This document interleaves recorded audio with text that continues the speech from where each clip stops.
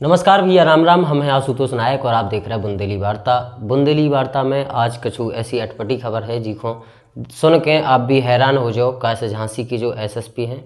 अचानक से रात के 12 बजे टहरौली थाने में पहुँचा तो टहरौली थाने में जो भी वाक्य होत वो कहूँ ना कहूँ अपन सब लोगन को हैरतंगेज करे और कहूँ ना कहूँ पुलिस की कार्यशैली है जो बढ़त नज़र आ रही। एस एस एसएसपी झांसी यदि से भरी मीणा की बात करें तो अपने अलग अलग अंदाज के रूप में जाने जात।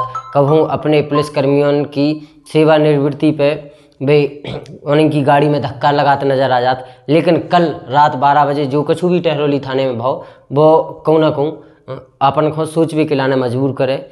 चेक करवे के लाने के थाने में पुलिस कैसों का कामकाज कर रही। ई के लाने एसएसपी झांसी जो हैं से भरी मीणा रात के 12 बजे टहरौली थाने पहुँचा। तो टहरौली थाने में रामराज नाम के व्यक्ति बन के पहुँचा थे। सीधे मुंशी के पास और मुंशी से कत के हमारे ऊपर कछु बदमाशन ने तमंचा अड़ा के लूट लाओ, हमारी गाड़ी भी, मोटरसाइकिल भी छुड़ा ली। इसे हरकत में आ गए।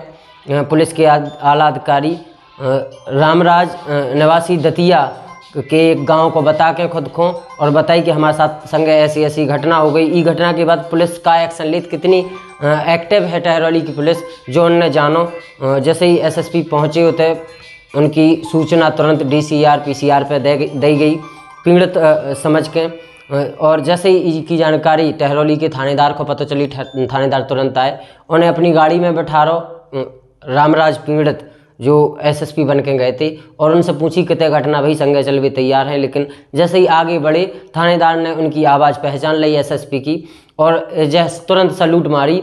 ई के बाद जो पीआईडी के जवान रहे होते, टहरौली थाने में मुंशी रहे, उनको एसएसपी ने अच्छे काम के लाने के, कोनो भी आम आदमी आत उनके लाने कैसा व्यवहार रखत पुलिस। ई के लाने ग्यारह सौ रुपया को नगद पुरस्कार भी दो है।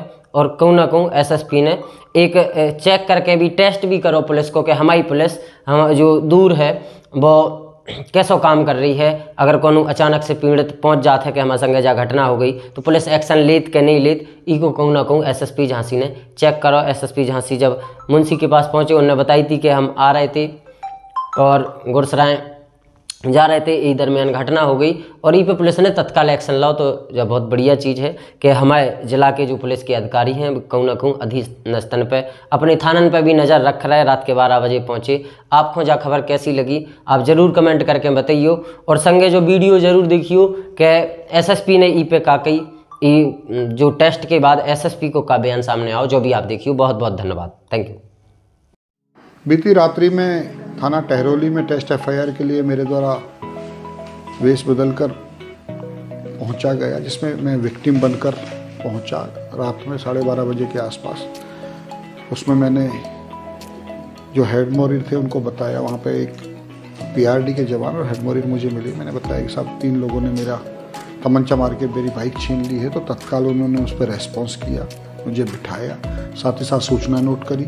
मुझे एप्लीकेशन लिखने के लिए कागज़ दिया, संबंधित थाना प्रभारी को बताया पीआरवीज को बताया डीसीआर और सीसीआर को भी उन्होंने तत्काल अवगत कराया। तत्काल थाना प्रभारी ने मुझे रेस्पॉन्स किया। तो जो पुलिस की प्रक्रिया थी, वो अच्छी थी, उनका रेस्पॉन्स अच्छा था। उसी वजह से उनको फिर ग्यारह सौ रुपये का इनाम भी पूरी टीम को दिया गया है। तो ये टेस्ट एफआईआर के माध्यम से थाने की जो कार्यप्रणाली थी, उसे जांचने परखने का प्रयास मैंने किया और उसमें जो टहरोली पुलिस है, जो झांसी पुलिस है, वो पूरी तरीके से खड़े उतरी